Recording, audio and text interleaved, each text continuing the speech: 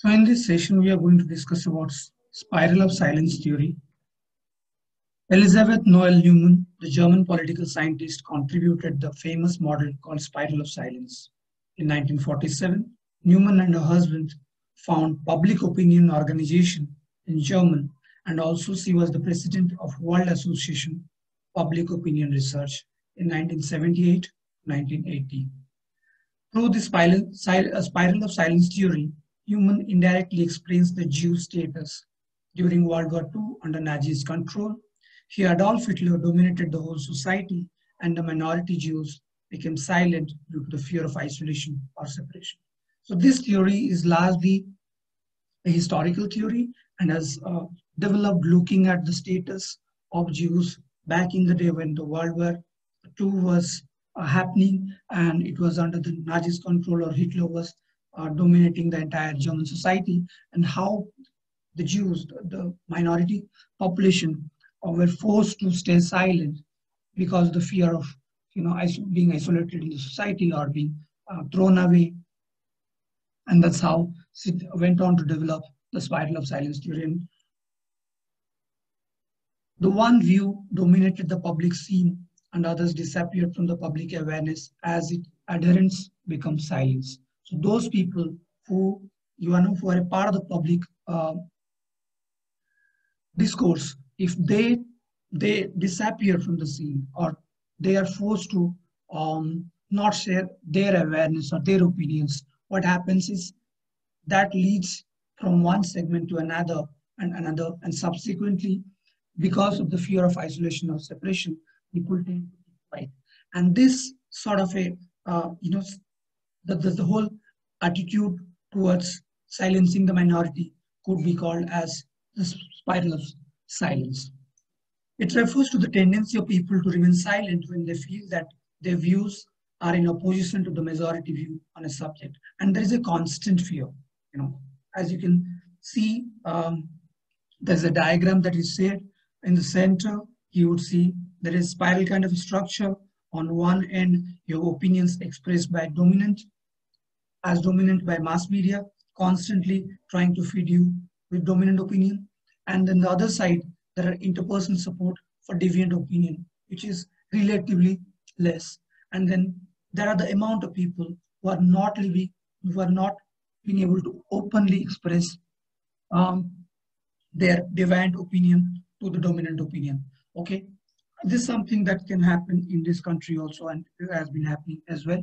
You can notice that in the last um, several years, last five to six years especially, how democratic voices or dissenting voices are constantly threatened, forced to stay silent or remain silent. As we speak, there is Father Stanley Swamy who has been arrested and, you know, put because he had put in his opinion. There is Umar Khalid, the student leader, um, who has been forced to stay silent and not participate in, you know, in any kind of dissent. And there are several cases in the past that has also happened. So how the media project those kind of dominant opinions or how those people who do not necessarily agree to those kind of dominant opinions, how um, the media projects them and how the society perceives them. So silence of opinion, um, um, spiral of silence also refers to the tendency of people to remain silent. Okay, and uh, because they constantly fear uh, and you know, remain in anxiety. This theory posits that they remain silent for a few reasons. So let's look at the reasons. The fear of isolation is when the group or public realizes that the individual has a divergent opinion from the status quo. So status quo is right wing. Let's say, for example, right wing is doing um, an incredibly good job to develop this country. And if I am not, you know, of the same belief, then I have a divergent opinion that I don't necessarily agree that the right wing or the left wing or the Congress is not doing a good job or it is corrupt or divisive, so on and so forth. But then I don't, I can't express that or people um, who belong to similar opinion group would not be able to express that because they constantly feel that they could be isolated by their own family members, by their friends, and which is what has happened over a period of time. The fear of reprisal or more extreme isolation in the sense that voicing said opinion might lead to negative consequence beyond that that is mere of isolation. That could be loss of job, loss of status, being thrown into jail, being thrown into um, you know some kind of uh, isolation what so to say in the society that you're constantly being um, frightened. That if you do so if you engage in any kind of divergent opinion you would have to face consequences. And that consequences would have a long-term repercussion or impact. So anybody who has who voice out their opinions would be constantly thrown into uh, you know dungeons Let's look at an example in a company. The managing director decides to increase the working hours from 8 to 10 and sends email to all employees. Majority of them accept this time changes and few employees are not satisfied with this decision, but they cannot or ready to express their thoughts publicly because they fear that they might be targeted. They fear that they might lose the job because they feel unsupported by other employees. Because the dominant opinion is also a popular opinion. Most of the people accept agree to that. So if you if you have a divergent opinion, if you are away from a majority, then you are likely to face some kind of uh, isolation. That people are not going to support you. That's the kind of feeling that you are going to get. Then fear of transfer, uh, isolation, like transfer, you might, you know, might be thrown into a place which might appear like a punishment posting or something where which is not conducive or suitable for you really living. Then the fear of rejection. By rejecting their personal opinion from the public will help to avoid fight.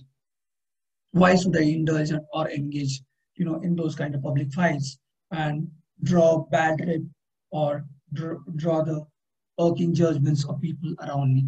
So I don't want to stay rejected. I want to be accepted by people. So I would agree to the personal opinion. Those sort of things also happen. Then they may try to save their job by suppressing or or um, that's one of the important part, right? You know, there are people who are dependent on the jobs, so they try to suppress their voice or avoid any kind of personal confrontation in the public, you know, because um, it could affect your daily life, family life, so on and so forth. Then there are certain frameworks that is based on assumptions. The spiral of silence theory describes uh, is described as a dynamic process the prediction about public opinion in mass media, which gives more coverage to the majority of the society and gives very less coverage for minorities. Most of the times, minorities' opinions are they get less coverage. Okay, and this continues because people who are of majority um, majority in view, who carry majority in view, or as some sort of you know impact or how they can influence public opinion in the mass media are likely to get more coverage. In a social environment, people have the fear of rejection to express their opinions or views, and they well uh, know known what behaviors will make better likelihood. So it's called the fear of isolation. You don't want to get isolated from the society. You want to be part of the society, being accepted. So this fear of um, social isolation, you know, forces people to keep their expressions or opinions or viewpoints to themselves. Then being part of the minority, if you are part of the minority, it's an assumption that um, also assumption and to a large extent it's true that you will be forced into the belief system that spiral of silence theory is at work. People lose their confidence and they stay silent or mute to express their views because of the fear of isolation or they feel alone or unsupported. This happens in the case of sexual minorities, caste-based minorities, religious minorities, uh, all across, because they won't be accepted. They will be thrown out. Sometimes the minorities withdraw their expressed opinions from the public debates to secure themselves from the majority, because there could be physical attacks. You don't know. You know, you could be thrown into jail. You could be killed for voicing out your opinion. So all sort of, you know, unfortunate things can happen even if it, you are staying in a democracy. There's a larger possibility that if you are expressing your opinion in public, that you will be constantly judged or you'll be marked or targeted. And um, that could lead to repercussions which are not conducive for basic living. Then maximum numbers get more vocal space in the society and less numbers get less vocal space and become silent. And this is something that has been there. The dominant paradigm, uh, the dominant forces would always try to, you know, rule or they would try to judge the others as the minorities and try to, you know, prove their voices off the grid. Something that happens all the time. What are the advantages and disadvantages of spiral of silence theory? Is both micro level as well as macro level explanatory process. What it means is at the most fundamental level within a family, if you consider family to be, you know, the smallest um, social structure, you would find that happen and you would also see that happen in the case of a country. So the explanation kind of, the process of explanation kind of suits uh, both smallest and the largest social units. Then it works well during the public campaigns, Senate or Parliament. The minorities always have lesser things to share because they constantly fear rejection, they constantly fear that their opinions will not be valued or they might be targeted, so on and so forth. It works during the public campaign. You would see the majority in point of view always has a larger um, public to accept that point or public people to uh, public support um, in any kind of campaign that happens. It also helps to raise questions about considering the role and responsibility of media in the society. Critiques, in a way, spiral of silence theory also critiques that how those people who um, are public influencers, how they are uh, sometimes you know, forced to stay silent or remain silent, and where media can take up the role of responsibility in the society by making more people aware that it's not necessarily the populist you know, dispensation which does an incredible job or is ideal or suitable for a democracy.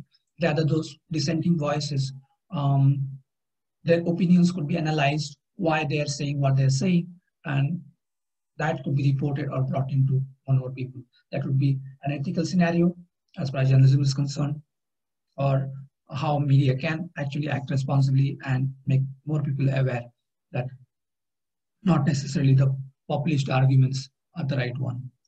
Now, theory is not considering other explanation of silencing. Uh, this is the disadvantage that what could be the other, you know, explanations of silencing, why people do get silenced.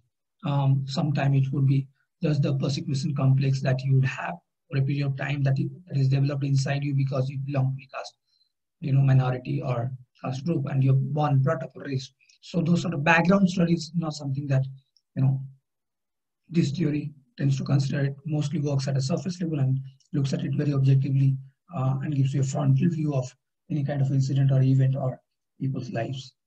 In some cases, the person may feel the majority's ideas opinion is much better than his own views. People also get, you know, subconsciously forced into it and they tend to accept it uh, as almost, you know, a scene of fate that, you know, uh, since the majority's ideas or opinion um, matters, then it could be the right one. This is what leads, leads to the herd mentality of people. You know, everyone is doing the same thing, so it could be the right thing. So let me also do the same thing. Even if you have an opinion of yours, that doesn't matter. You constantly try to kill it down or try to curb it down because you feel that the majority's opinion or ideas is better than yours. Then it portrays overly negative view of media influence on the average people. Okay, that uh, media um, there's also a possibility. And the average people are not intelligent enough to understand um, the repercussions that spiral of silence can have. So majority would always want people to, you know, uh, be subservient to the majority in politics or majority point of view. So at that point in time, media has a larger role to play. So what spiral of silence theory does is it locates media in a place which is negatively placed.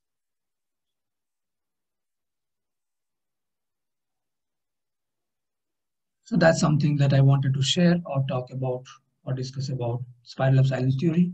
Um, the explanations and the examples are useful. So I'll stop here and then um, we'll proceed to the next theory, which will be the normative media theories in the next session.